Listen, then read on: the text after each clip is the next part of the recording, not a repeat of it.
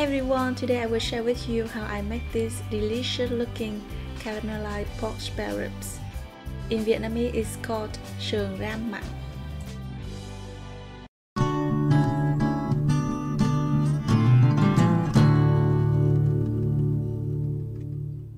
Firstly, I'm gonna chop the pork spare ribs into bite-sized pieces. You need a heavy cleaver and also a strong arm to do this job. I slide into pieces along the bones and then chop them up. Chop once and then turn it over and chop one more time and it will be easier to break. Or the easiest way is to ask the butcher to do it for you.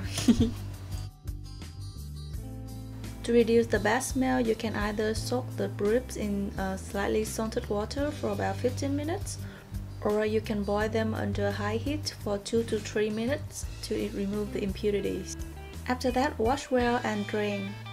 Then we're gonna marinate it with a teaspoon of white part of spring onion, minced, a teaspoon of garlic, minced, some seasoning powder, salt, and pepper about half a teaspoon each. That is the amount to marinate 500 gram of ribs. Then mix well and let marinate for about 15 minutes. Next, in a medium saucepan over medium heat, we're gonna add in 1 tablespoon of vegetable oil and sprinkle a tablespoon of sugar evenly onto it. Wait for the sugar to melt and turn into a caramel liquid. Do not stir, just shake the pan gently so that the sugar gets caramelized evenly. Quickly toss in the marinated pork spare ribs and stir really well.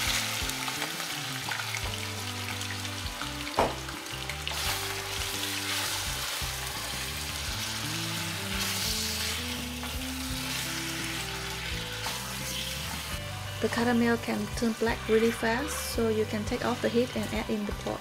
Then stir well and bring back to the stove.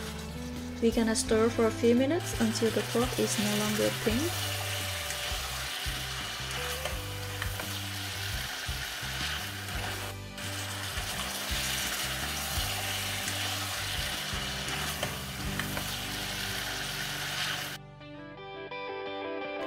Then add in half a cup of water and bring to boil. You can also use coconut juice or coconut soda. Also add in a tablespoon of fish sauce and maybe a little bit more sugar if you think it's not sweet enough. We're gonna cover the lid and cook on medium-low heat uh, for 25 minutes. After that, we open the lid and cook for another 25 minutes uncovered. The first 25 minutes we close the lid to make the rib tender and the later 25 minutes we open the lid to let the sauce evaporate and thickens. When the sauce thickens, it looks like this. The pork ribs has very nice caramelized color.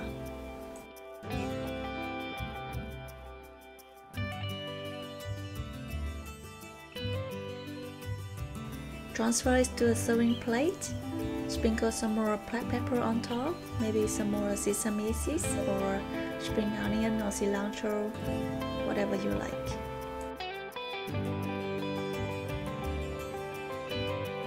So this is it, our caramelized pork spare ribs.